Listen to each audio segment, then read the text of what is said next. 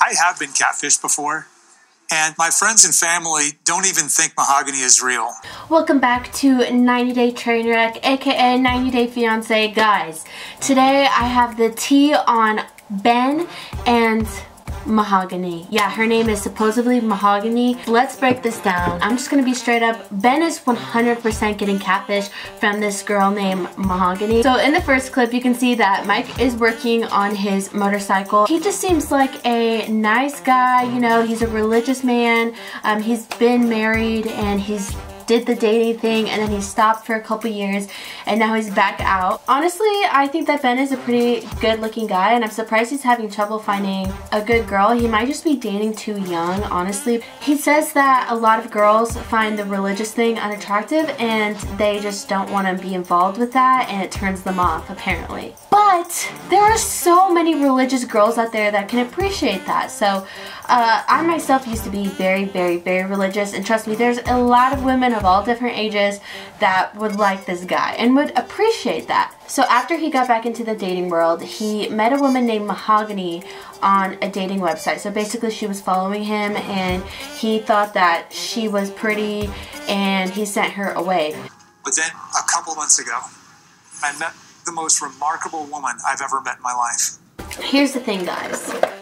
Have you ever met somebody by the name of Mahogany? I'm asking for a friend. And that's one of the reasons why people think that he's getting catfish. Not only that, but she's 24 and all her pictures look like those those profiles where they use really pretty girls to catfish people like we all know what those profiles look like unfortunately the older generation doesn't know what that look like uh, what that looks like, so they typically get catfish. And this is just another case of that. I really think he should have gone on catfish before he went on 90 Day Fiancé. That's just my opinion. So she messaged him, said, oh, it's nice to meet you. I think you also have great photos. That's kind of weird because a 24-year-old girl doesn't really talk like that. I would know because I am a 24-year-old girl. You know, maybe I'm just reading into it too much. So I just did a little hand wave and I got a response we started DMing back and forth, and that has not stopped in the last 115 days. Maybe she does actually talk like that. Maybe she's real. Maybe there are girls that actually talk like that. Mahogany is actually from Peru, which is a beautiful country. I would personally love to go there. There is a 28 year age difference with difference which, guys, when you think about it, 28 years. Like, I don't know how relations relationships like that actually work. I can't imagine being 28 years younger than the person I'm dating. I just, I, I couldn't do it. I just, I, I couldn't do it. I just, I, the phases of life. I can't even date someone five years younger than me. So he's talking about how amazing she is, how beautiful her soul is from the inside and out. Just being really sweet. Like this guy actually thinks that she's like the most amazing girl. He's believing everything that she's telling him and she tells him, she's like, oh, I just feel like my purpose in life is to help people. And that's the thing, his family was like, okay, well, is she asking for money from you? He's like, no, she didn't ask for money, but she did ask for a loan. And they were like, so she's asking for money. And he's like, no, but it's a loan. It's not lending. Here's the thing, Ben. It is giving money when they plan to never ever pay you back. And I promise you're not getting that $1,000 back. I promise. And I'm so sorry that this is happening to you, bro.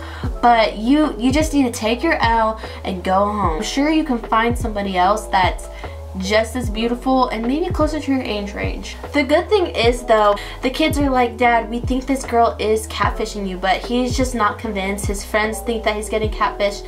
Um, so at least he has people in his life trying to warn him. She sent him a pre-recorded video, which like that that's totally something a catfish person would do, would do. She, she sent a little message back and she's like, trust me, I would be reading this with a sweet smile on my face.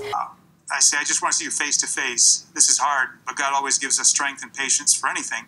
And she says, Life and things that are worth it are not easy. Believe me, if I was there, I would be saying this with a sweet smile on my face. just trying to give me like the picture of how she's texting. It's just, it's so sweet. And that's just something so fishy to me. Like, it's almost like it's a dude behind the screen trying to really, he doesn't know how to act like a girl. So he's like, oh yeah, I have a very sweet smile on my face right now.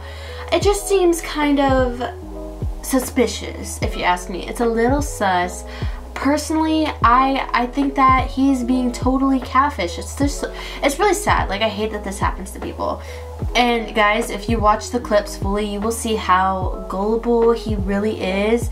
And it's just so sad. Like, guys, you gotta be careful out there, okay? Don't get freaking catfish. Like, so the next clip we see Ben getting dropped off at the airport by his son, and his son is kind of just talking about like, you know, trying to get be encouraging. He's trying to be happy for his dad, but he's also just like, Dad, like, please be careful. And I think the best thing to do is when you're meeting somebody that you've been dating long distance is to keep your expectations low. I've actually been in long distance relationships more than I'd like to say you know everything's so different in person. Um, people are different in person different than what you what you expect. I would tell the guy i'd be like hey like let's see how it goes. Let's see how it goes. I really liked him and you know it ended up working out for a period of time. Um, we actually got a lot along better in real life than on social media and so that was a surprise to me. Um, but I'm happy that I kept my ex expectations low and I really feel like that's what Ben needs to do. Okay sorry I need to put on this cute headband. I just feel like it was fitting the vibe. So, like I said, his son is very, being very smart and he tries to warn his dad as he's dropping his dad off at the airport. But really, his son knows for sure that his dad is getting catfished and there's just not much you can do about it. So Ben is talking to the cameras about how deep their love is and how she knows everything about him and that she just knows the real him and he's opened up to her completely. And I just have to say how much that sucks to open up to somebody that does not have good intentions or they're not being real with you and it's just a stranger that knows all of your secrets. It just really sucks. And honestly, the person on the other end of this, I just hope they know that karma is coming for them and that you can't just mess with people's feelings like that. You guys, you're not gonna believe what happens next. He's at the airport, actually traveling to Peru. First of all, think about how much money that costs, the time, the effort, the planning, the nerves, and then he gets a text from her. Just got a text. It's not very encouraging. Just saying your dad doesn't trust my intentions and is not wanting me to come. The text says that she's not sure that he should come because his parents, her dad, isn't sure about his intentions, so she doesn't think that he should come. If you need any more signs that this is a catfish, then you're the you're the person that gets catfish. If you can't see how this is a giant red flag, you need to watch the show Catfish Catfish because you will see right away that this is just like what catfishes freaking do. I don't like catfishes. I don't like when people mess with other people's feelings. I feel like that's really bad karma. It gets worse. I guess we'll see if he decides to still go. Me personally, if I had already bought the ticket taken the time, I would just go to Peru and I would stop talking to that person and I would enjoy myself. I would enjoy the sights, eat some food, and just have a vacation with myself. You know, I'd be like, screw you, I'm still going. I don't know about you guys, but okay, guys, this is where it gets worse. This is where it gets worse. Hold on to your bonnets. The thing that he admits on camera, I this is so embarrassing. I can't even believe that he admitted it. But he said that my heart is just dropping through my chest because this actually isn't the first time that I've tried to meet Mahogany.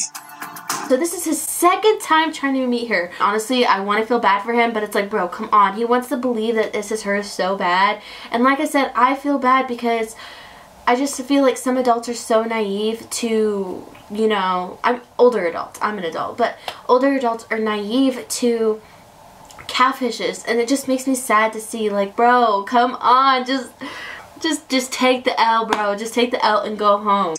We were both super excited and we were counting down the days, even the hours.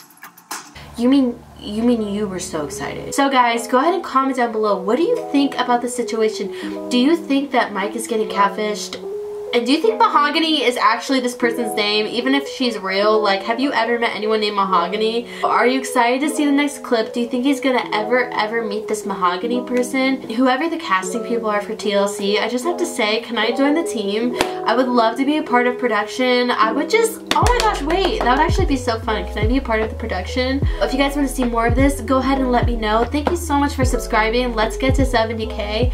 And please follow me on Instagram because I would actually really appreciate it. And I want to say nothing but love and light. I will see you in my next video. Love you so much. Bye.